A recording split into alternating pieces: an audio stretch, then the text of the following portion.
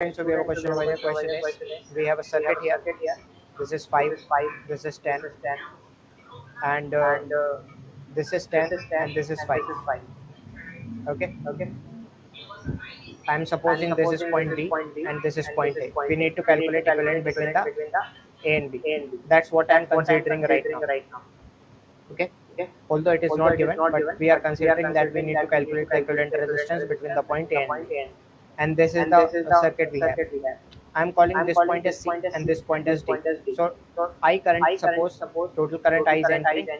Out of that, I1 is flowing in this branch and I minus I1 is flowing in this branch. So by symmetry, I minus I1 is flowing in this branch and I1 is entering into the, this branch. Let's say that remaining X amount of current is flowing into this branch out of the I1. So I1 is basically dividing into X and uh, I minus I1. So the value of X becomes what? 2I1 minus I. So now let's start solving this. So VA minus VB is equal to VA minus VC plus VC minus VB. So let's start solving the values. What is VA minus VC? That is 5I1 plus VC minus VB is 10I minus I1. Okay, so this becomes what? 5I1 and 10I1. This becomes 10I minus 5I1. Okay, so this is one value we have.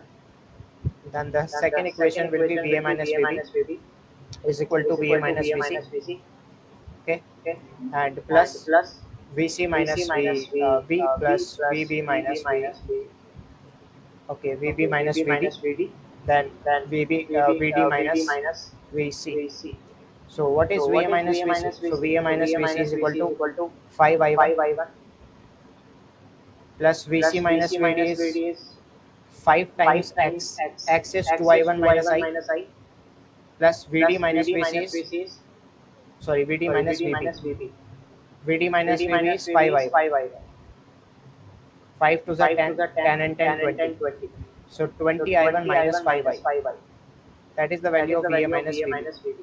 Okay, that is the second is the equation. second Our target is to this uh, remove this remove this uh, I1. i1 So for that, for that this is VA minus VB. Okay, okay we need to we multiply. need to multiply Uh, this uh, is uh, 20 I1 here, and this is 5 I1. We need to multiply this by 4.